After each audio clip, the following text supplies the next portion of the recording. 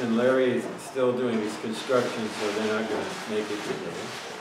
Don't forget, next week we start at ten here in this room, so, uh, we'll be earlier. The church service will follow.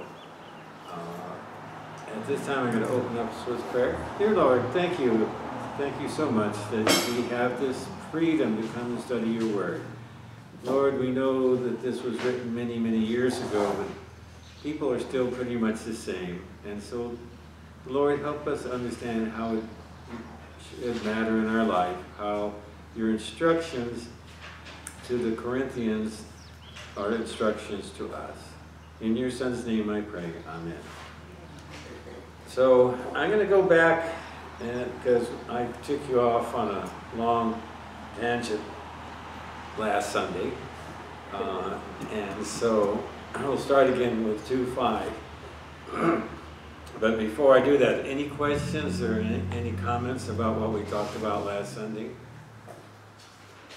If not, uh, Charmaine, 2.5 please. Forgiveness for the offender. If anyone has caused grief, he has not so much grieved me as he has grieved all of you to some extent, not to put it too severely. So Paul's talking about, we'll be talking about forgiveness to somebody who has repented. On ninth one. And so two five, two five. Uh, We'll go on with this, but he doesn't, in this section, talk about any doctrinal issues that, uh, whatever the, the, the person did. You notice he doesn't really say who it was or what the transgression was, but it's not, he doesn't follow through with talking about any particular doctrinal issues. Um, Why would he not mention who it was that should be forgiven? Why would he not do that? He didn't want to start up a confrontation. Yeah, he didn't want to grieve the person anymore. He was, he was trying to be tactful, you know, so whoever, whatever the issue was, he didn't want to stir it back up again. And since it wasn't, in the Middle Ages, it was thought that what he's talking about is incestuous, man. Uh, but since it wasn't talking about anything doctrinal, doctrinal, uh, modern commentators think it was not that. Uh, that what it was was somebody had had some disagreement with Paul, uh, possibly was one of the ones that didn't accept him or had some problem with his leadership. And the church had punished that person and the person had repented. Uh, and that, so that's what is felt more likely nowadays. Joy, eight, uh, sorry, six, please. The punishment inflicted on him by the majority is sufficient for him. And so what, whatever the transgression was, the church itself had determined what the punishment was. Again, it doesn't say what the problem was, who the person was, or even what the punishment was. It's just it was sufficient. Uh, What it tells us is that it was a church authority, the members of the church authority, that had authority to punish and rebuke members of the church, just like our church is set up. Not, in this case, Paul, and for, again, like us, it would not be the pastor, you know, that by himself that would punish one of us that did something that we would feel required some type of punishment. That in some ways makes it our responsibility to, to take care of things like that. You know, it might not be the whole church as a whole. It might be a committee set up if there's a problem. We can always hope we won't have one. uh, but it would be our responsibility to, to listen to the testimony and make a determination about what should be done. Seven, please, Frank? Now instead, we ought to forgive and comfort him, so that he will not be overwhelmed by excessive sorrow. So he had repented and therefore asked for forgiveness. Uh, and so what, what is Paul telling the church to do with this person? Accept his forgiveness. Accept his forgiveness. Obviously, we don't know what the transgression was. Obviously, we don't know how severe the problem was. If the modern commentators think it was somebody that had some disagreement, but it wasn't doctrinal with Paul, you would say, didn't, didn't let, this is not, a, to me, a very severe problem. The guy had asked, said, I'm wrong, and can you forgive me? And Paul's telling him that they should forgive him. Um, Obviously, if something more severe, some other suggestion might be made. Uh, We talked a little bit about it last Sunday, that if somebody did something more severe that, and asked for forgiveness, we might forgive him, but we might not accept him back in the church, and I think that would be reasonable. Uh, But again, it would be on a case-by-case basis about what the issue was. Lynn brought up, well, if the person doesn't for- ask for forgiveness, what should we do? So Debbie, what should we do if somebody doesn't ask for forgiveness? Say somebody did We something, shouldn't, we shouldn't forgive. If they're not asking for it, that means they're not repenting. So, I don't think we should forgive them. I think you could take that tack, you could also take the tack that who does unforgiveness hurt the most? Yourself. Yeah. So you have to know that. Yeah, you have to know that. So I have forgiven people for things that they did to me or my family, even though they didn't ask for forgiveness.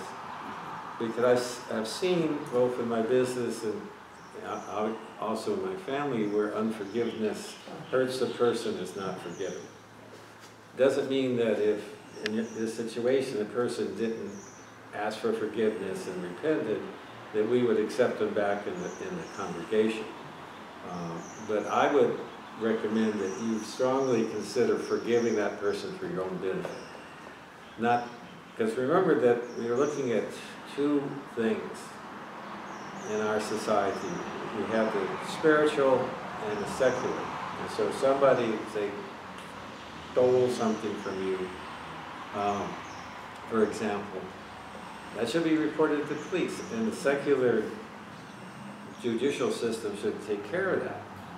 Uh, But if that person doesn't ask for forgiveness and repent, I strongly feel that you should forgive the person, but we shouldn't ever allow that person back in our congregation. The sticky part comes when the person asks for forgiveness and repents. That, to what level should we allow that person back? That's something that I think we'll have to deal with on, at the time. Uh, It depends on the transgression and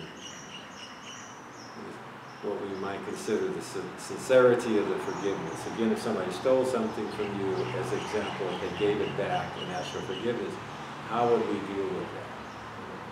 Um, I think that's something we would have to struggle with at that time with the, with the individual details of the situation. Yeah, I had a, um, an employee Mhm. charged me with something, and we went through two and a half, three years of trial. I came away with it, a winner, but, uh, you know, she put me through a lot, and I decided to just forgive her. She was, at the time when I hired her, you know, she professed to be a Christian, and, uh, and I know she was very sick, but so was I. She made me even more sick.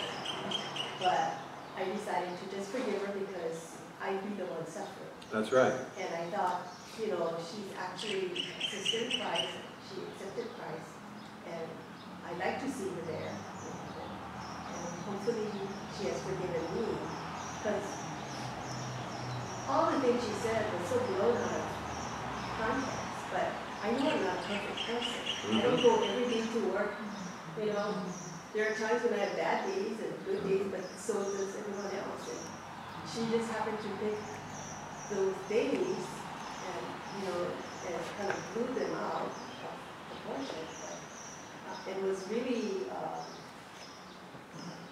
insistent that I was wrong, but she did have an, uh, a history of doing this to other nonprofits, and they just settled out of court.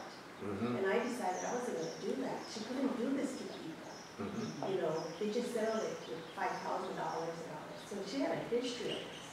But I decided I couldn't do that. you know. So, anyway, so, but, you know, and she's already passed on. Mm. Really, so there's, I'm not hear from her until I see her in heaven. Yeah. It's, it's hard. You know, uh, you know, I think we all have seen instances where unforgiveness hurts the one that's not forgiven. You know, my neighbor's grandson stole stuff from my house, I think I've told this story before. And what bothered me most, he stole my son's baby teeth. Uh, And I found out later, we got most of the jewelry back that they had stolen. Um, We didn't get the teeth back, which bothered me. And actually bothered my wife more than the jewelry, which we got it back. But It took years that I didn't fantasize of throwing a Molotov cocktail in the garage driving by. And every time I'd go by, I'd have to say, Lord, help me with this. And finally, well, finally, that, that was 30, oh, 35 years ago. So after a long time, I won't say how long, if I finally stopped doing that, and I think I've forgiven the person. Well, I know I've forgiven the person. His life is not that good. Um, and, and, but it's, it's hard. And who was it really bothering? I'm sure it wasn't bothering him at all. No. Uh, it was bothering me more than anything else. And, and so, you know, I think we probably all have somewhat similar experiences, but Paul's trying to be tactful with his last three verses. Didn't mention who it was, didn't mention the transgression, didn't mention the, the punishment. And so it seems like, and that's why the modern commentators think it was something directed to him, about to him, but it wasn't something about doctrine. It wasn't something that just say disagreed with, you know, Christ's salvation or, or some other, we might say, serious spiritual issue. Uh, it was probably related to Paul's uh, leadership or leadership style. And the person had disagreed with him, but the church has decided to punish the person, and Paul is telling him, since the guy has forgiven, please forgive him. Um, I think we now at, back to eight. Oh, okay. Yeah. Um, I urge you therefore to reaffirm your love for them. And so he's telling him that, okay, the guy made a mistake, he, he punished him, but he repented, and so you should basically forgive him and show your, you know, Christian love to him. And again, that can be easy or hard depending on what happened. And if we ever have something in our church that happened, we, you know, I think we have to, we'll be struggling with that, depending on the severity, whatever the problem is. Um, I hate to say it, but generally the, the major problems I've seen in churches and nonprofits, it relates to money and sex.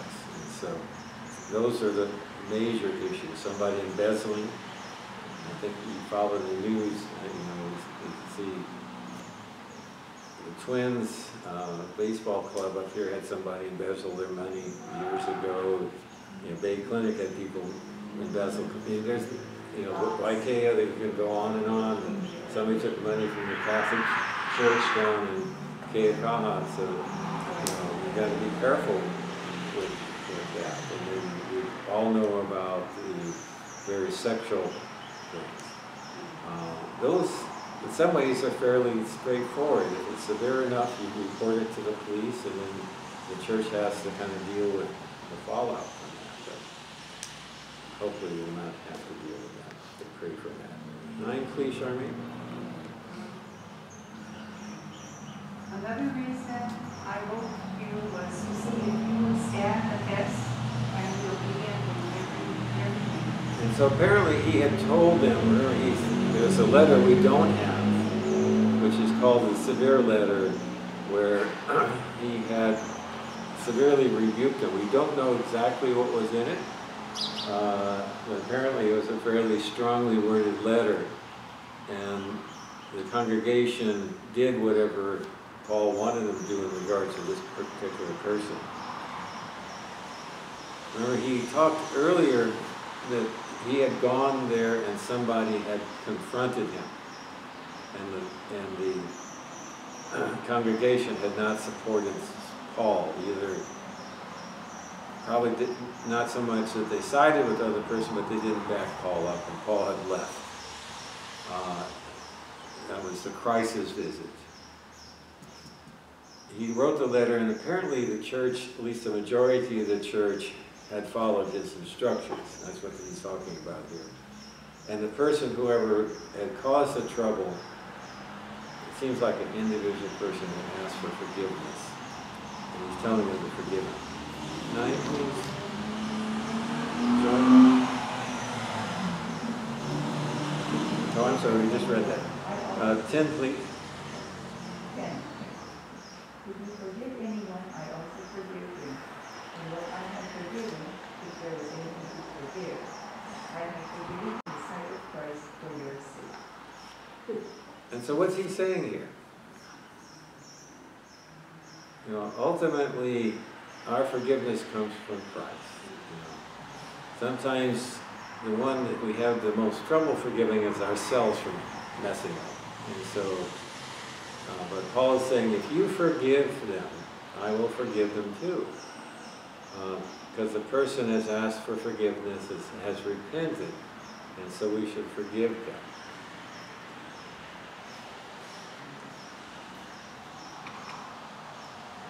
And eleven, please. in order that Satan might not outwit us, for we are not unaware of his schemes. And There's a few, one of the few times that Satan's actually mentioned, but what would be Satan's out, outlook on something like this? What would Satan want? What, you know, why, what, do you- how is he trying to outwit us? Cause division.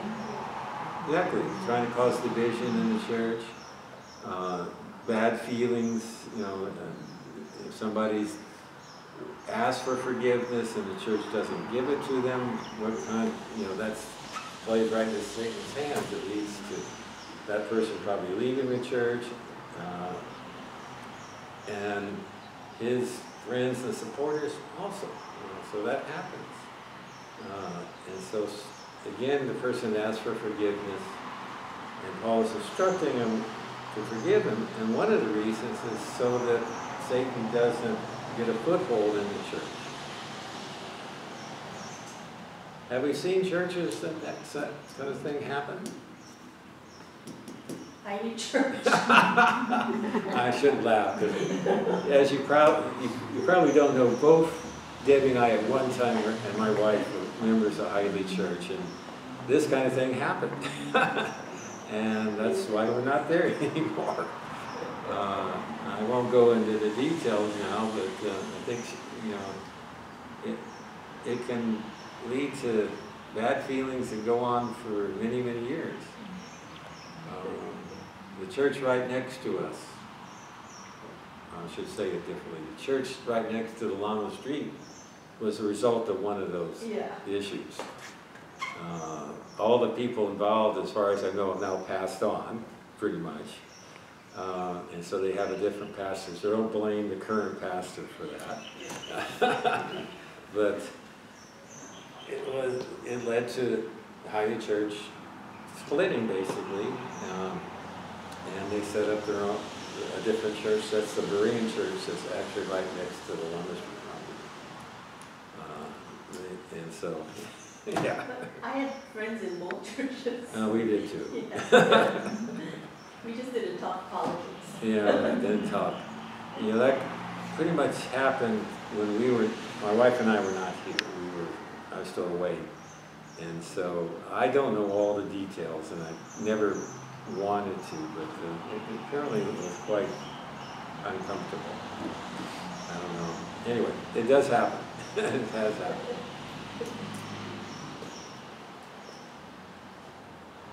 Okay, uh, twelve please. Uh, Now, when I went to Troas to preach the gospel of Christ and found that the Lord had opened the door for me, So was he, well, Troas is, uh, again, or he was in Ephesus, which is on the coast of what we now have Turkey.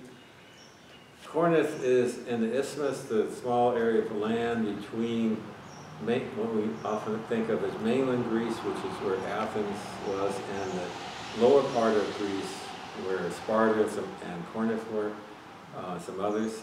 And Troas is kind of up in, the- in the Macedonia area. And so what's he saying here? He'd gone there, and he was welcome. he was welcomed. Uh, you know, he had was trying to set up a church, uh, and but what happened? Thirteen, Charmaine. I still have no peace of mind because I did not find my brother Titus there. So I said goodbye to them and went on to Macedonia. Okay. So he had sent Titus to uh, Corinth to see if they, how they had received that severe letter, and he was hoping to meet uh, Titus coming back. Uh, and so what happened? Titus wasn't there. And so how was Paul emotionally in, in this?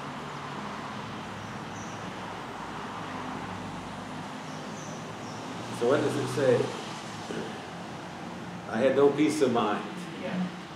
And so he was obviously disturbed that he had not heard, because Corinth was important to him. And the people were important to him.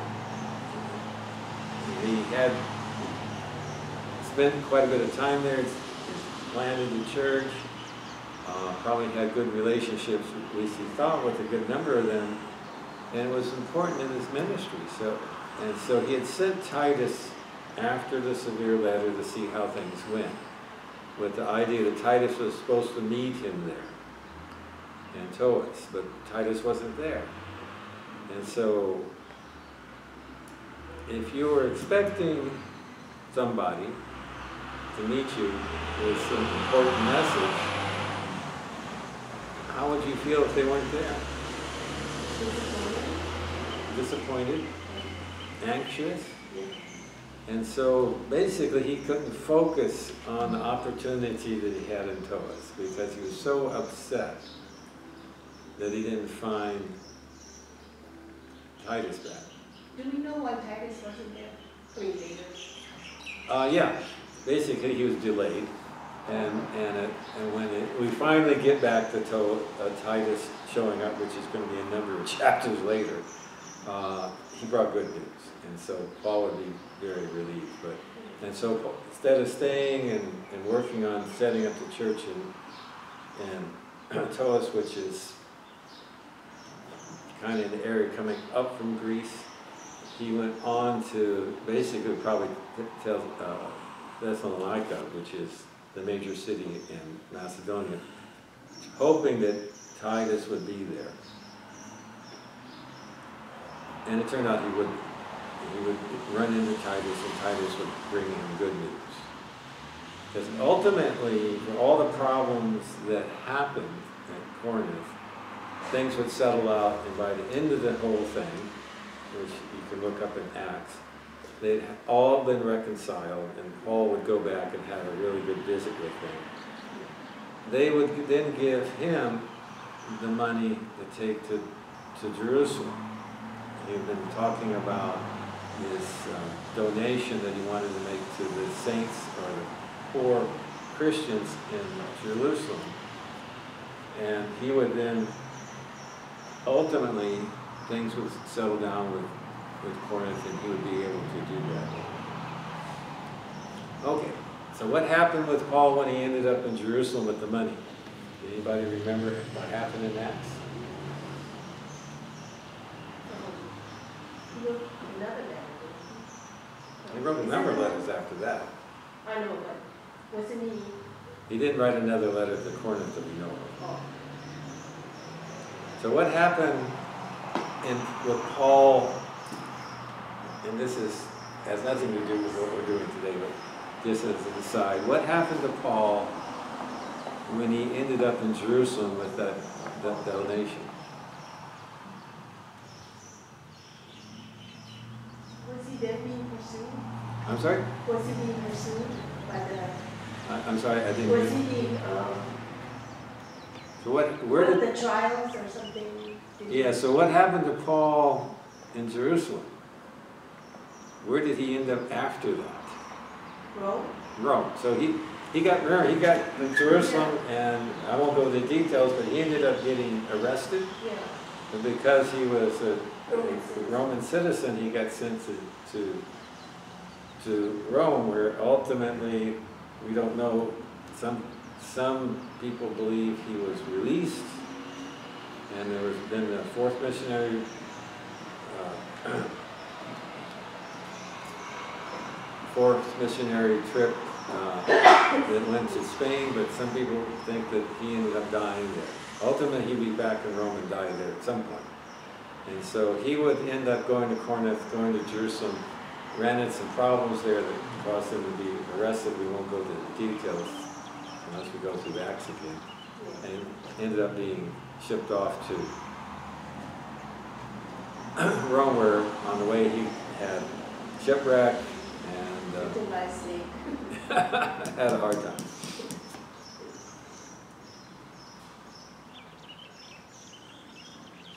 Okay, so now we're gonna make a radical change in what he's doing.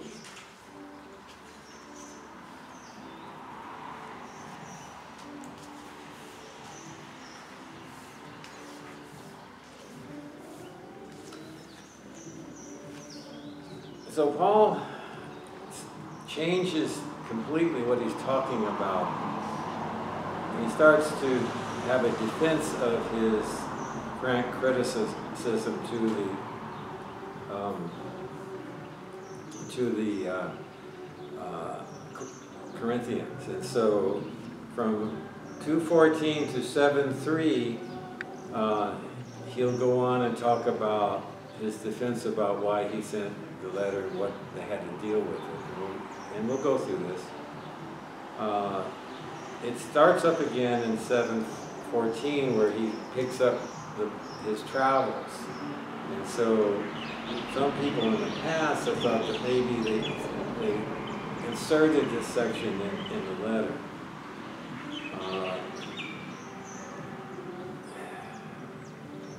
many of the commentators a century or, or more ago kind of nitpicked, especially some of Paul's letters, but also some of the, the uh, synoptic gospels.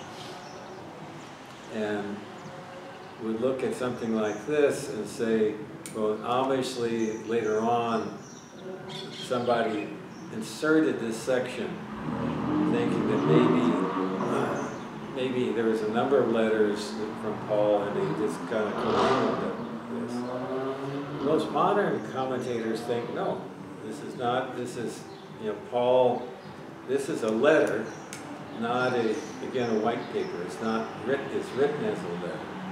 And so if Paul goes off on tangents, that's not unexpected in a letter or in a conversation. Uh, the style of the writing fits the rest of the letter.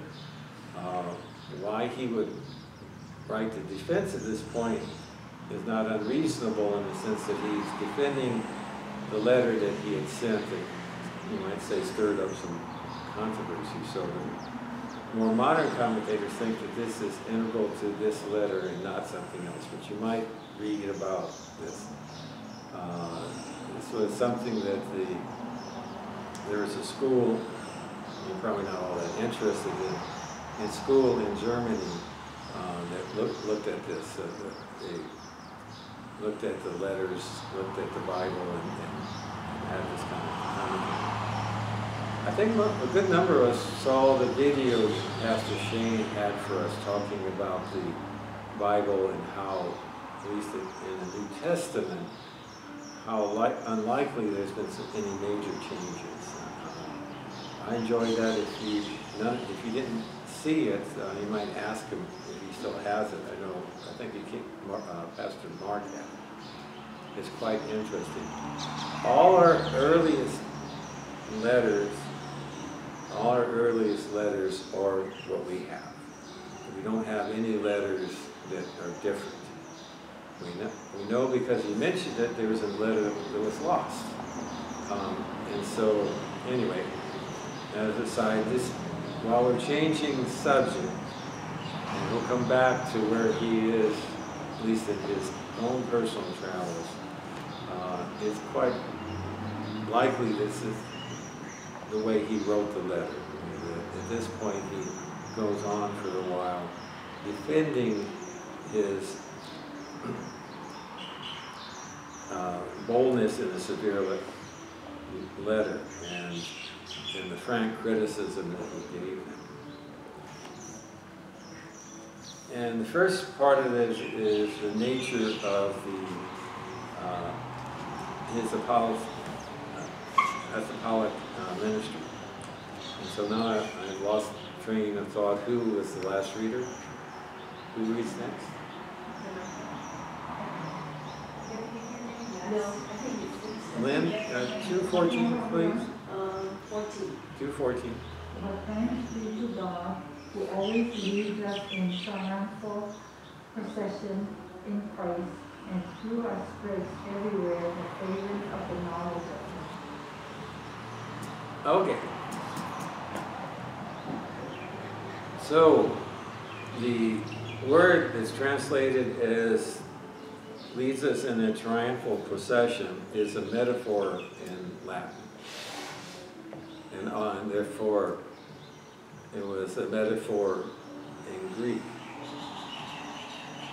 When the, the Greeks did this some, but the Romans really did it, is that if a general had gone out and, and conquered an area, uh, won a major victory, they would have a triumphal procession through Rome.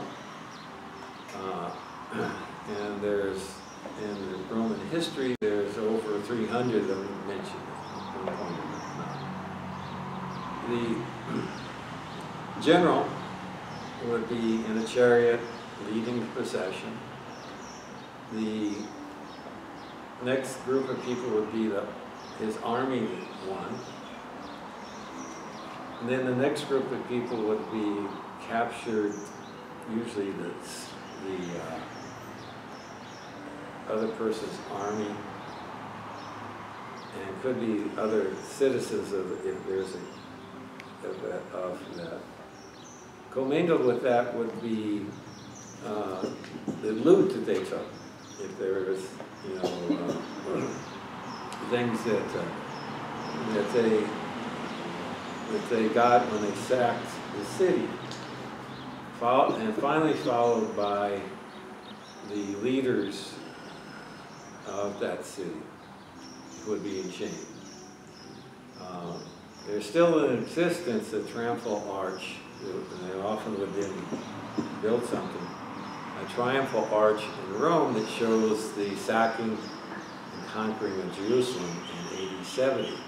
And it shows them carrying some of the menorahs, those candlesticks and other things that they took from uh, the uh, sanctuary there, and also, you know, Jewish people that were brought in. The soldiers and other citizens would then be sent to be slaves. The leaders would be executed. And during, along the course of the, you might say like a parade, which is what it was, they would have incenses. That's why he's talking about fragrance. So he's using a metaphor that they would know what a triumphal procession is. But the problem is exactly the way he uses the word. Who is Paul in that procession? And who is the general leading the procession? Where was Paul in this? And so it has to do with exactly in the Greek, the way the word is. You know, they have different tenses and things like that. So I'm going to give you a chance to try to figure out who is the leader. In this case, it would be the general. Who would be the leader of the triumphal procession? Would it be Paul? No, that's definitely a no. God. It would be God or Christ. And so they led the triumphal procession. So where would Paul be? I want you to, I'm going to give you a hint. What was Paul's name before he was Paul? What was Paul doing at that time? Persecuting the Jews. Okay, so what was Paul's relationship to Christ when he was Saul? He was the enemy. And so, what is Paul saying where he would be in that triumphal procession? Last. Yes. and so, that is where he would be. And so, what he's saying is that thanks be to God, he's thanking God for his defeat. His experience on the road to Damascus was his defeat. And that now he is, was an enemy of, of Christ, an enemy of God. Now he is now, now their servant, their slave, because of his experience. I would never have gotten that from this. What? I would never have gotten that, all that. Well, you have, you have to read a, you know, you can't, because the trouble in the, in the English, again, it's a metaphor that they would, like, our metaphor is like, Belcher is out to lunch. What, we know what that means. It doesn't mean I'm down eating something. You know, it- it, so it's a metaphor that they would understand.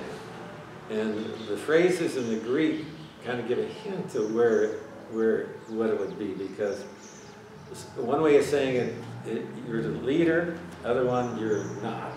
And it, it's not the not, it's the way it's written in the Greek. And so, and that's why I spend a little time talking about, because you just read it the way it is in English, you don't get the understanding of what he's trying to say.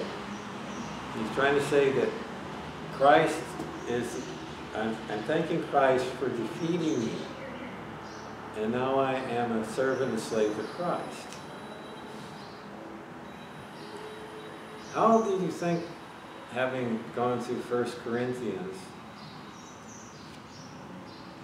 the Corinthians were looking at this? In what view would they have looked at this?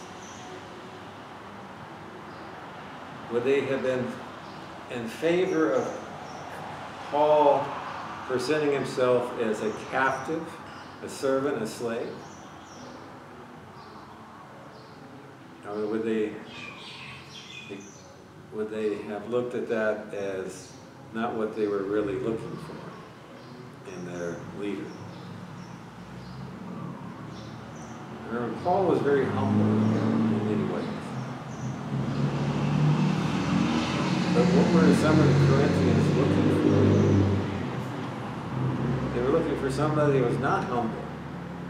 They were looking for somebody that was a good speaker, a good leader, everything went well with them. And that was one of their major problems with, with the Corinthians, is that's not who Paul was. And that's not who Christ was. Did Christ amass a major amount of money in his life? Political power or wealth? He was obviously a great speaker, but he didn't have any of the other things. The Corinthians, especially the one in the higher social economic strata, that's what they were looking for. I know Paul was a builder, Yeah. maker. Yeah. So, but he wasn't rich before when he was a persecutor, because he was a able. The time that he Now, changed from Saul to Paul, I don't know how long they took him to study and he must have had to study or was it it was, it's most likely that he came from a relatively well-to-do family. Because remember, what he was was a Roman citizen. Now, to be a Roman citizen, uh, a number of things over years had to happen. Originally, it was just the people in Rome, and then became people in Italy.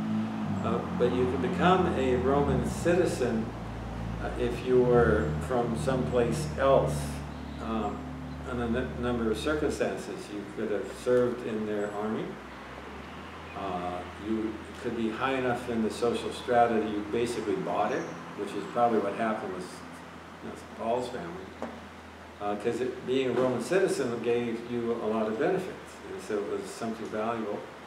Uh, sometimes they, uh, the Roman people, some Roman, the Roman leaders would give citizenship to a group of people that done something useful for them, uh, beneficial to them. So there's a number of ways that people became Roman citizens, but being poor and destitute was not one of them. And so Paul's family was probably well-to-do, because remember he was had the ability to study. He was a Pharisee that was uh, studying. And so if you had a healthy young man and you didn't need him to do whatever work you were doing, that meant you had enough resources. Just like nowadays, you know, if we have enough resources, we try to get our children educated. And in our society, you know, we are lucky enough and wise enough that we help support some that could not otherwise with scholarships and grants and things like that. But in their society, if you couldn't pay for it, support them, then you couldn't do it. So he was obviously relatively wealthy.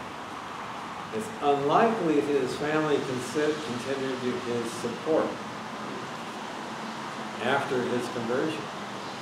And so he talks about making his way in the world. It's likely that his family, that was his family business, uh, making tents, because tents were made out of leather. Uh, people traveled and they didn't have the hotels and motels that we have. Uh, and so they ended up either staying with some friends, and the Bible talks about that, or family acquaintances is when we went somewhere. And that's the hospitality that's talked about in, in was in the Bible. Or they set up their own tents, and then they couldn't, because they're either walking or riding a donkey or a cart or something, so they didn't make it very far. So they're making their trip of, of any distance is, you know, usually take several days, and so people had to have some way of getting shelter, either from the sun or the rain, and they stay in tents. You might see pictures of Bedouins that still kind of live like that.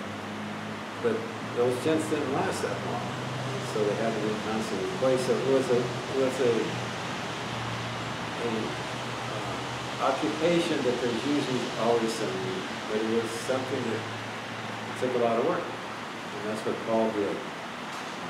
Priscilla and Aquila were also tent makers, and, and, so that's how they got together. Paul tended not, oh, I should say that, Paul did not expect, and we talked about it, that the church he was planting would support him. He would not take money from them. Now, he would take money from other churches he planted later. So he was going to set up a new church, the ones he was previously set up, he would take, you know, donations from them to help him set up another church. They wouldn't take money from them. Um,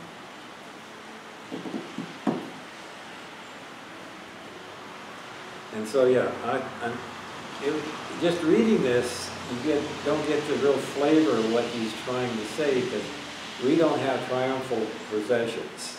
And we have parades, but they're usually something like you know, Kamehameha Day parade that they often have often in Honolulu, or like a Merrie Monarch parade, it's some event, but it's not, and we do have marshals and other people that we're recognizing, but it doesn't have the same flavor as what a triumphal procession was from them. Uh, The closest that we had is, is, you know, after the Civil War, World War One, and World War Two, is they did have some parades in various places around the country uh, to honor the, the the soldiers and the, and other armed forces people. One of the problems people who fought in Vietnam had is there was never something like that for them. So we, we've had parades that to honor our armed forces people, but they're not, again, still the same. We didn't drag captured Germans or Japanese behind them with the idea that we're gonna execute them at the end to our temples, uh, which is what they did. Uh, Not everybody would be executed, you know, if if they felt the person, uh, should be given some mercy, they wouldn't execute him, but they'd still s- send him to slavery.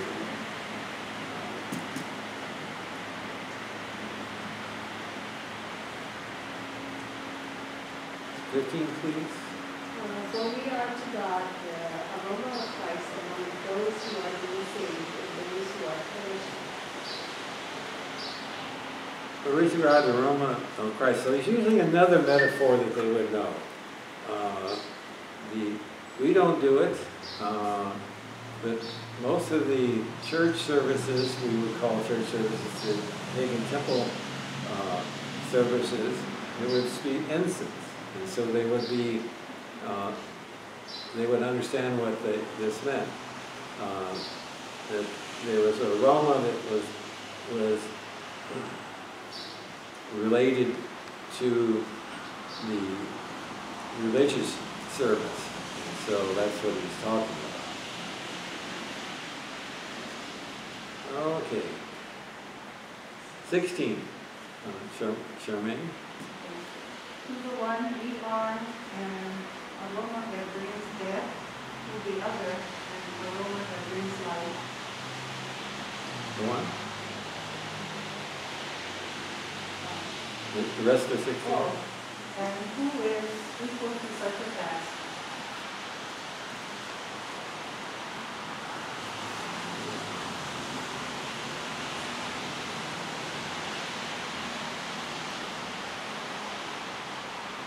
The literal, uh, the literal translation of the, the verses here is the smell from death to death, and the smell of life to life.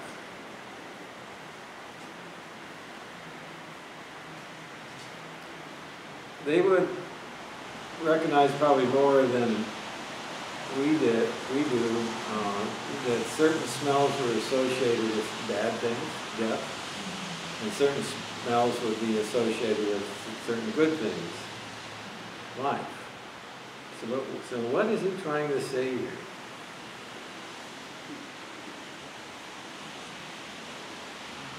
The, one we get the smell of death.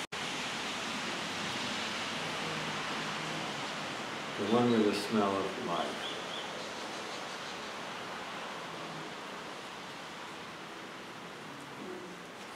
Some people seeing us, seeing him, seeing the Christians, it was something they would associate with death. And to some would be associated, they associate it with life. Who are the different groups? Who, what, what is he trying to say here? It's the same people, but some people look at that as something deadly. and Some people look at it as something that gives life.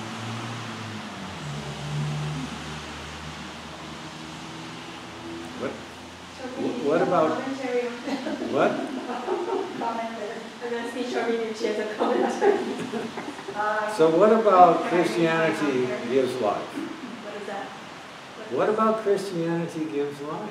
What kind of life are we talking about? Eternal life. Eternal life. Blood of Christ. And so who would be the one that sees us, sees Paul as a aroma of life? Who would be that group? The ones that accept Jesus as Right, and so that means who is the other group? the non-believers. Yeah. And so he's saying that, you know, to some, we are the aroma of death because they are not accepting the gospel.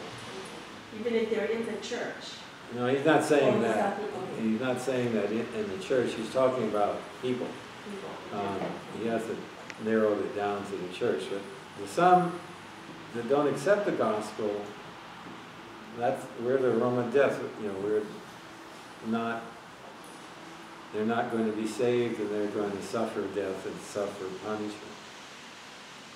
But for others, we're the Roman life because our belief leads us to feel that we've been saved. Yeah, go ahead. In a Roman triumph procession, the Roman general would display his treasures and captives amidst a cloud of incense burned for the gods. To the victors, the aroma was sweet, to the captives invigorating. It was the smell of slavery and death. When Christians preach the gospel, it is good news to some and repulsive news to others. Believers recognize the life-giving fragrance of the message. To non-believers, however, it smells foul like death, their own. Yeah. And it says, uh, Paul's, Paul asks, who is equal to the task of representing Christ? Our adequacy is always from God. Now, he'll answer that question in a few verses. Uh, but what there's, again, it's a metaphor that, they- that they would understand that the aroma of the incense along the triumph- triumphal procession. Obviously, the victors, it smelled great to them. The ones that were not going to be, vic- were not the victors, that smelled bad. And, and so you might see how that, that works.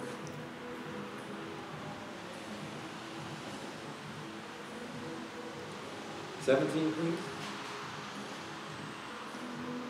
Unlike so many, we did not peddle the word of God to a profit. On the contrary, in Christ we speak before God with sincerity, like men sent from God.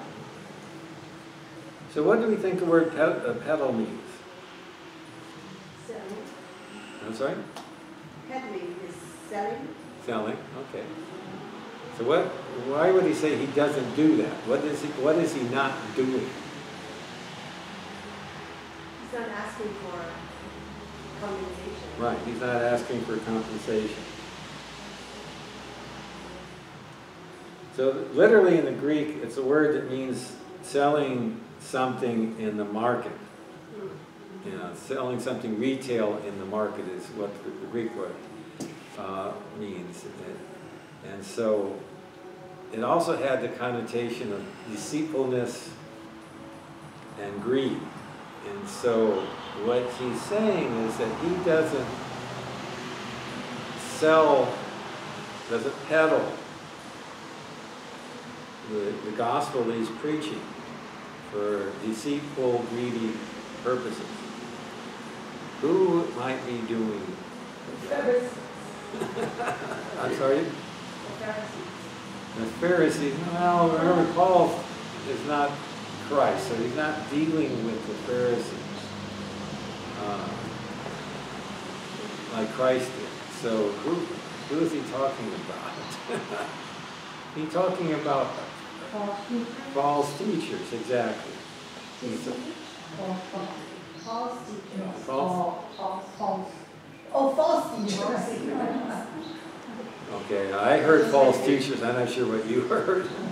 Uh, And so he's, you know, he's saying that he's not somebody that's preaching the gospel for it, for deceitful reasons. If you think about it, if you had a person selling something in the market, how would that person talk to you? Would he talk to you in a very nice way, cajoling and all that? Or would he say, you really need to go home and take a bath and clean up, you, you look lousy. You know, because Paul had sent them a very severe letter that was scolding them. You know, we talk about used car salesmen. Would a used car salesman talk down on, about himself or his car he's trying to sell you or talk you down? No. And so Paul was saying, I'm not like those people. You know, that's why I'm really true, because I'm not trying to peddle you a worthless gospel. I'm, I'm not trying to be deceitful. I'm not trying to make you feel good about what I've been telling you. I'm telling you what the real truth is. And so,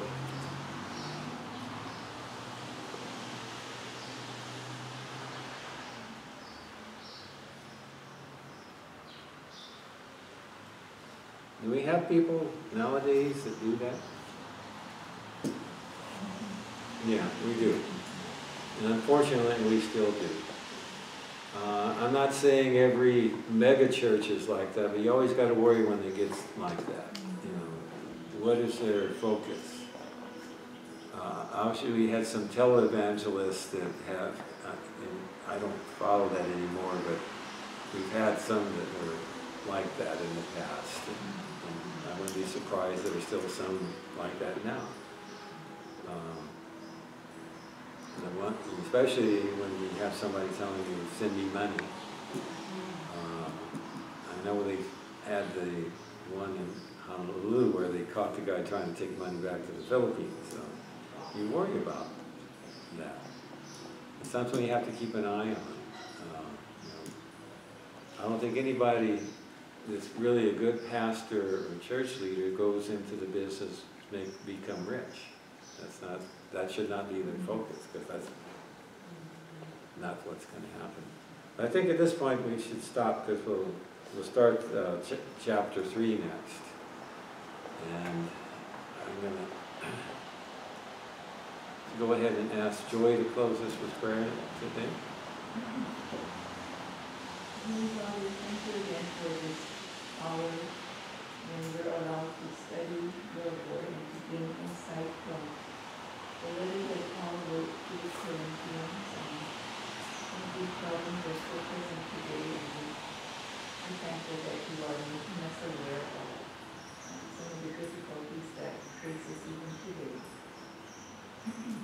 We ask that we would store these truths in our minds and our hearts, and that it will be comfortable in the lives of each of us as we deal with others in the world. Ask your blessing on Dr. Dan for leading the study and for all who have participated. In Jesus' name. Amen. So remember, next week it's ten o'clock here.